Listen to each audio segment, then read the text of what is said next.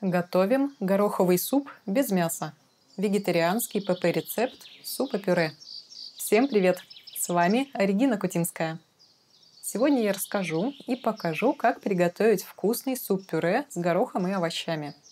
Я люблю это блюдо, потому что оно получается очень нежной кремовой консистенции. И для данного рецепта нужно взять именно колотый желтый горох.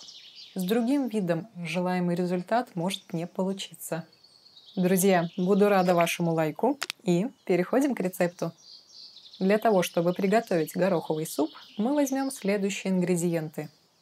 Желтый колотый горох 350 грамм, 3 моркови, одну головку красного репчатого лука, 3-4 зубчика чеснока, топленое масло гхи 3 столовые ложки, рецепт в описании, соль и черный молотый перец по вкусу 2 литра 400 мл питьевой воды.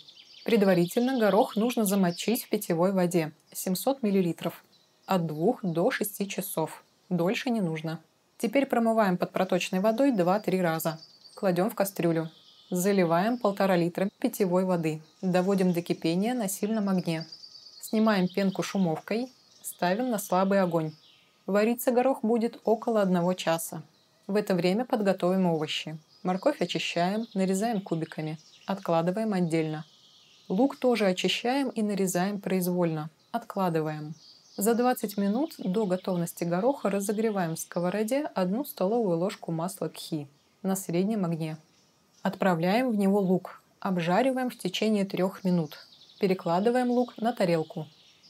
Добавляем в сковородку оставшееся масло. Разогреваем. Кладем морковь.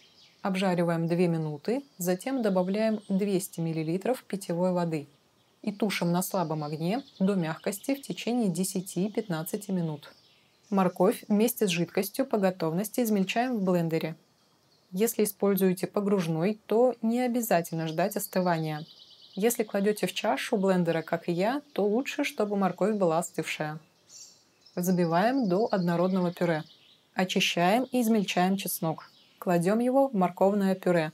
Добавляем соль, молотый черный перец по вкусу. Перемешиваем. Горох спустя 1 час варки у меня получился достаточно мягким. Измельчаем его в пюре блендером. Добавляем жареный лук. Кладем соль по вкусу. Снова пройдемся блендером. Получилась вот такая гладкая консистенция. Наполняем тарелку гороховым супом-пюре. Добавляем морковно-чесночный соус и подаем на стол. Приятного аппетита!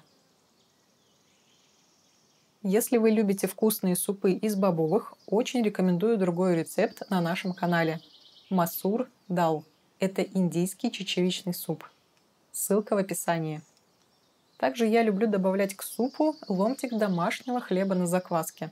Рецепт закваски и хлеба тоже есть в описании.